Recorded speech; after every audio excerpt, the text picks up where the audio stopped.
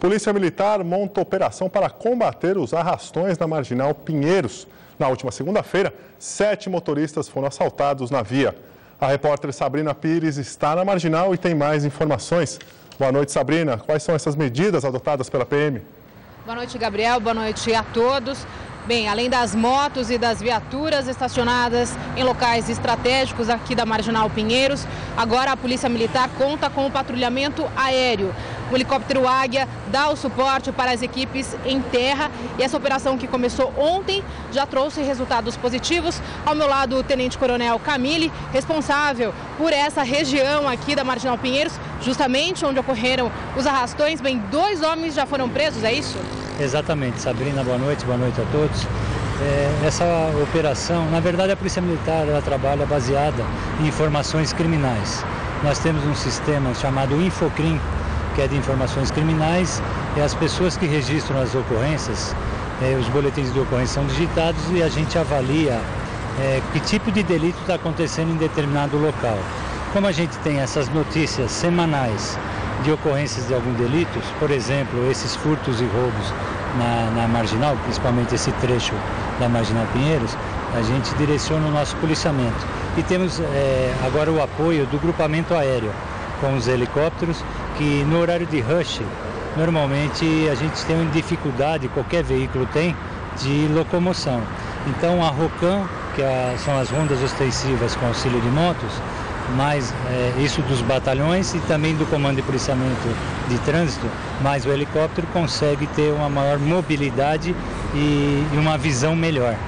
O helicóptero ele consegue visualizar a ação de criminosos mesmo à noite? Sem dúvida. Primeiro que ele tem um alcance de 4 quilômetros. Então ele consegue, quanto mais se aproximar, ainda a visibilidade é maior, a visão é maior. E ele tem um sistema todo de câmera e de iluminação. A iluminação é tão potente que consegue clarear até um estádio de futebol. Agora, os dois homens, tenente, presos ontem à noite, eles participavam desses arrastões?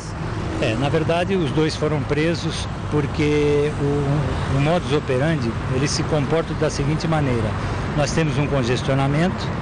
A cidade de São Paulo tem em sua frota 15 milhões de veículos. Então tem um congestionamento e eles se locomovem com motos nos corredores. Então dois numa moto e o que, que eles vão verificar?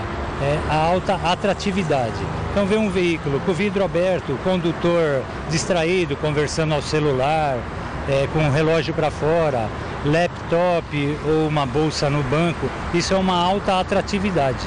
Né? Então por isso a gente orienta a população para não agir dessa forma. Né?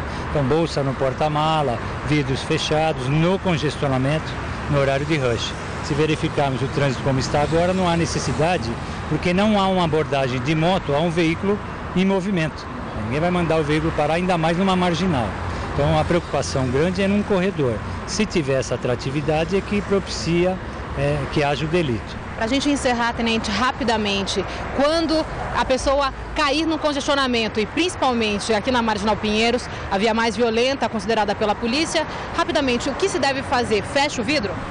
É, na verdade, nos congestionamentos, não deixar objetos sobre os bancos, né? ficar sempre atento e não cometer essa infração de trânsito que é usar o celular durante é, é, dirigindo. Né?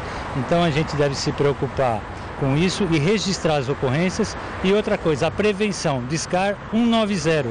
Está verificando que tem alguém com uma atitude suspeita, olhando nos carros, discar 190 vai ser atendido imediatamente e ajuda a, população, a polícia a, a direcionar o nosso policiamento.